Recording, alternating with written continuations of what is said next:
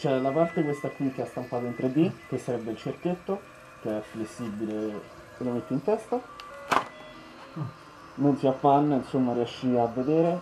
E la cosa buona è che poi hai totale mobilità a 360 gradi questo progetto è nato grazie all'associazione di visionari, si chiama Make It e punta a riunire la più grande community di makers in Italia.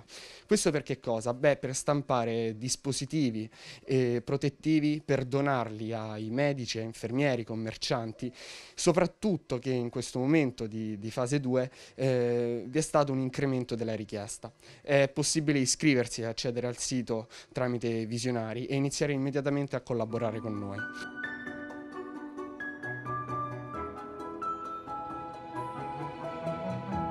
La visiera, diciamo, innanzitutto serve a proteggere principalmente la parte del viso, in particolar modo gli occhi. E, ehm, è una barriera, è uno scudo sia tra la persona che parla con l'interlocutore e quindi la protegge da una contaminazione esterna, ma pure chi parla, eh, diciamo, blocca internamente tutte quante le goccioline di saliva o di sudore che potrebbero andare a colpire la, l'altro interlocutore.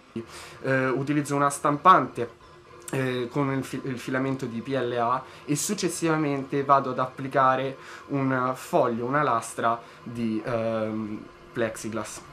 Beh, eh, la motivazione fondamentale è stata eh, guardare principalmente anche negli ospedali, eh, visto che mio nonno è stato ricoverato non per Covid-19, però la paura negli occhi delle infermiere e quindi ho cercato di voler donare e creare qualcosa in più. Da quel momento poi non mi sono voluto fermare e ho iniziato ad avere delle prime richieste e a questo momento eh, abbiamo superato soltanto nel mio quartiere le 250 richieste.